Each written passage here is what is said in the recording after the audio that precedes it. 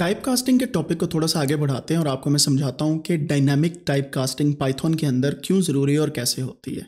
इसका क्या मतलब है और किस तरीके से हम इससे फ़ायदा उठा सकते हैं। Let's jump in to it screen आपके सामने हाजिर है। टॉपिक का नाम है dynamic type casting in Python और डायनामिक टाइप कास्टिंग क्या है? It's in Python refers to the fact that Python is dynamically typed language which means that you don't need to explicitly declare the type of a variable यानी कि जो भी आपने variable रख दिया you you you don't want to you don't have to define कि ये float है, ये इंटीजर है, ये क्या है, ये क्या है। जैसे कि पिछली एग्जांपल्स में भी आपने देखा, हमने age is equal to ten रखा था, वो ऑटोमेटिकली हमारे पास इंटीजर आ गया टेन पॉइंट ज़ीरो रखा था, वो ऑटोमेटिकली फ्लोट हो गया। अगर हमने इन्वर्टेड कोमा में कोई चीज़ रखी थी that was automatically converted into different things अब हम देखते हैं कि type of variable can change dynamically during the execution of a program इसको हम बोलते हैं डायनेमिक टाइप कास्टिंग यानी कि ऑटोमेटिकली जो हो जाए and Python automatically handles this type of casting based on the context of the operation let's see क्या होती है. फॉर एग्ज़ाम्पल हमारे पास इम्प्लिसिट टाइप कास्टिंग है। इम्प्लिसिट टाइप कास्टिंग क्या होती है? जब पाइथन ऑटोमेटिकली कन्वर्ट करता है वन डेटा टाइप को another data type in certain situation this usually happens जब आप कोई परफॉर्म करते हैं ऑपरेशन इंटीजर्स या फ्लोट को ऐड करने में। इसकी मिसाल मैं देता हूँ। दो जमा दो कितने हुए? चार। ठीक है? दोनों इंटीजर थे, दो भी दो भी हमारे पास चार आ गया। यहाँ तक समझ आ गई? अब थोड़ा सा एडवांस लेवल पे चलते हैं। दो जमा दो इशारिया पाँच। कितने हो गए? दो जमा दो चार हो गए, इशारिया पाँच आगे लगा तो ये पाँच इशारिया पाँच हो गए। मैंने सही कहा कि गलत क्या? बिल्कुल गलत बोला। ये फोर पॉइंट फाइव होते हैं। जो लोग गौर से नहीं सुन रहे थोड़ी मेहरबानी गौर ना सुन लिया करो।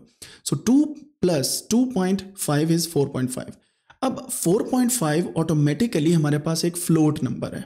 मज़े वाली बात यह है, हमने इंटीजर को फ्लोट में जमा किया और हमारे पास आउटसेट क्या आई? Output I? बिल्कुल फ्लोट नंबर यही चीज़ मैं आपको समझाने वाला हूँ कि जब आप इंटीजर को किसी फ्लोट में ऐड करते हैं तो ये ऑटोमेटिकली इंटीजर और फ्लोट दोनों का मिलाप मिलके आपको फ्लोट में आउटपुट देता है। क्यों? क्योंकि you are using point in one condition और ऑफ़ कोर्स जब इन दोनों को अरिथमेटिक ऑपरेटर के साथ जमा करेंगे then your result will be a float that's what we call implicit type casting यानी कि जो ऑटोमेटिकली हो रही है you are not doing anything in that ये ऑटोमेटिकली पाइथन के अंदर हो रही है। ठीक है? अब समझ आ गई, आगे चलते अब दूसरी होती है एक्सप्लिसिट टाइप कास्टिंग यानी कि you use built in function like integer float या स्ट्रिंग और आप एक वैल्यू को दूसरे के अंदर कन्वर्ट करते हैं। इसको बोलते हैं एक्सप्लिसिट टाइप कास्टिंग और हमने पिछली दफ़ा, पिछले लेक्चर के अंदर थोड़े जो एक दो लेक्चर पीछे आप देखें तो टाइप कास्टिंग के अंदर हमने क्या किया था? Explicit type casting function use करके इंटीजर और डिफरेंट किस्म के फ्लोट या स्ट्रिंग के फ़ंक्शन को यूज़ करके हमने कन्वर्ट किया था। So this was explicit type casting यानी कि जो आप इनपुट दे के काम करवा रहे हैं, ठीक है? तो पहली है इम्प्लिसिट टाइप कास्टिंग जो ऑटोमेटिकली है, और दूसरी है एक्सप्लिसिट टाइप कास्टिंग जो आप बिल्ट इन फ़ंक्शन को यूज़ करके काम करें मैनुअली कन्वर्ट करें किसी चीज़ को, इसको हम फोर्सफुली भी कर कर रहे हैं, ताकि हम जो है वो अपनी डिज़ायर्ड आउटपुट ले सकें।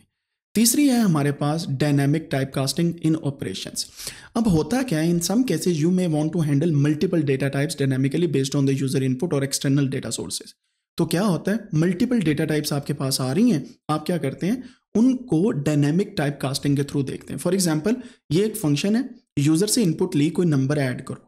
यूज़र उसमें नंबर ऐड करता है, आप वहाँ पे लिखते हैं डायनेमिकली कास्ट टू फ्लोट और integer based on the input अगर आपका जो फ्लोट और इंडीजर के अंदर, यानी कि इनपुट के अंदर अगर पॉइंट फाइव है तो इसको फ्लोट में कन्वर्ट कर दो। अगर पॉइंट फाइव नहीं है फिफ्टी है तो इसे स्ट्रिंग को कन्वर्ट कर दो, किसमें? इंटीजर में। सो so, आप यूज़ करते हैं इफेल स्टेटमेंट जो हम आने वाले लेक्चर में पढ़ने वाले हैं।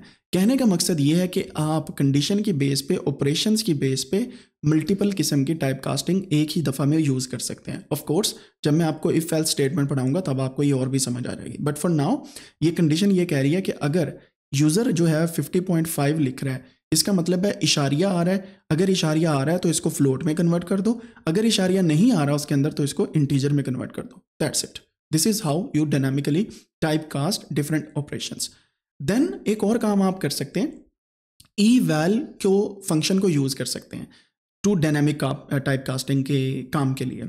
In some situation you might not know the type of value in advance आपको नहीं पता कि क्या होने वाला है, क्या इनपुट होने वाली है यूज़र ए बी सी लिखता है या थ्री पॉइंट फोर लिखता है या क्या लिखता है, ठीक है? फॉर एग्ज़ाम्पल यहाँ पे अगर हमने यूज़र से कोई नंबर पूछा है, वो यहाँ पे ए बी सी लिख दे तो हम क्या करेंगे भाई? हमारे पास तो पॉइंट आया ही नहीं ना एबीसी आ गई। सो so, इस कंडीशन में हम क्या करते हैं? ई वैल फ़ंक्शन यानी कि हम टाइप कास्टिंग को इवैल के थ्रू चेक करते हैं। ये क्या करता है? Type of value and vast जब हमें नहीं पता होती you can use eval to automatically determine the cast and cast the type for example अगर आप डिटर्मिन करते हैं किसी भी टाइप को और उसको फिर कास्ट करते हैं, यानी कि चेंज करते हैं then you can actually utilize the power of eval eval क्या करता है? एवेल्यूएट करता है the string as a Python expression से फॉर एग्ज़ाम्पल आपने यूज़र से बोला कोई वैल्यू ऐड करो, और यूज़र ने 3.14 ऐड कर दी। अब आप यहाँ पे कमेंट्स भी देख रहे हैं हैशटैग के साथ, जो एक्सप्लेन कर रहे हैं कि क्या हो रहा है। फ़ंक्शन ये है हमारे पास इनपुट ये हमारे पास, हम यूज़र से कोई चीज़ ले रहे हैं, जो मैं आपको आने वाले लेक्चर्स में बताऊँगा इनपुट फ़ंक्शन कैसे काम करता है। और हम क्या कर रहे हैं, इसको वैल कर रहे हैं।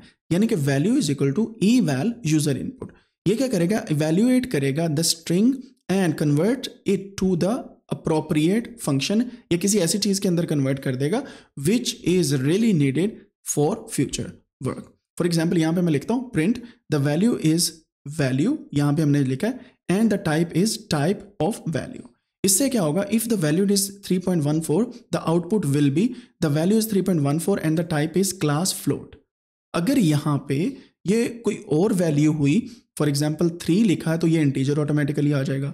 And then eval function actually evaluate करता है स्ट्रिंग को और ऑटोमेटिकली कन्वर्ट कर देता है इनटू डिजायरेबल वैल्यू जैसे हम पिछले में, हमें पता था कि अगर 50.5 है तो हमने क्या करना है?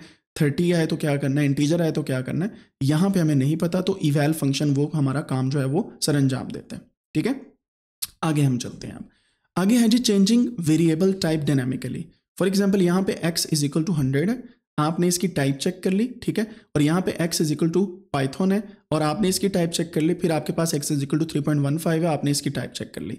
चेंजिंग वेरिएबल टाइप्स डायनामिकली का क्या मतलब है? You can also dynamically reassign a variable to another type during run time हम x को 100 लिख रहे हैं, लेकिन उसी x को हम अपडेट कर रहे हैं पाइथन में, उसी x को हम अपडेट कर रहे हैं 3.14 में। इसका मतलब है वही x है जो अपडेट हो रहा है, ठीक है? इसको बोलते हैं वेरिएबल की टाइप्स को चेंज करना, यानी कि वेरिएबल के अंदर जो डेटा है उसको चेंज करना। ये मैंने आपको पिछले लेक्चर में भी करके दिखाया था and this is very useful is as a reassigning variable और फ्यूचर में आप देखेंगे कि इसका बहुत ज़्यादा यूज़ होने वाला है तो इसको बड़े अच्छे तरीके से प्रैक्टिस कीजिएगा। अगली चीज़ जो हमारे पास आएगी कास्टिंग ड्यूरिंग मैथमेटिकल ऑपरेशन से for example Python dynamically promote करता है types during mathematical operation for example when different types are involve in a single expression Python converts them into compatible type for example a is equal to five b is equal to two point two point seven इन दोनों को अगर आप गौर करें, एक integer है, दूसरा float है, जब हम फाइनली इनको जमा करेंगे या मल्टीप्लाई करेंगे वट एवर वी डू ये उसकी डायनेमिक ऑटोमेटिकली कास्टिंग हो जाएगी टू फ्लोट क्यों? क्योंकि 2.7 है, ठीक है? And 2.7 is a float number और 2.7 multiplied by 5 is 13.5 which is also a float number तो ये casting during the mathematical operation automatically हो जाती है। अगर इसका आंसर इंटीजर में आएगा then it will be an integer form अगर इसका आंसर कोई और आता है, किसी और डेटा टाइप में it will be converted into that ठीक हो गया? ये हैं जी कुछ हमारे पास डायनामिक टाइप कास्टिंग के मैथड्स होपफुली आपको समझ आ गए होंगे। अगर समझ आ गए that's great write down in the comment section क्यों? क्योंकि आने वाले दिनों के अंदर मैं आपको और भी डिटेल में पढ़ाने वाला हूँ। क्या? नंबर वन के टाइप कास्टिंग को डिफरेंट फ़ंक्शंस के साथ कैसे यूज़ करते हैं? फ़ंक्शन होते क्या हैं? फिर इनपुट अगर यूज़र से लेनी है तो कैसे हम फ़ंक्शंस को डिफाइन करेंगे? प्लस फ़ंक्शंस के साथ साथ इफ़ एल्स स्टेटमेंट्स क्या हैं? फिर लॉजिकल ऑपरेटर्स क्या हैं? अरिथमेटिक ऑपरेटर्स क्या हैं? रिलेशनशिप ऑपरेटर्स कौन कौन से हैं? ये सब कुछ हम देखने वाले हैं आने वाले लेक्चर्स के अंदर। Write down in the comment section आपने इस लेक्चर में क्या सीखा। See you in the next one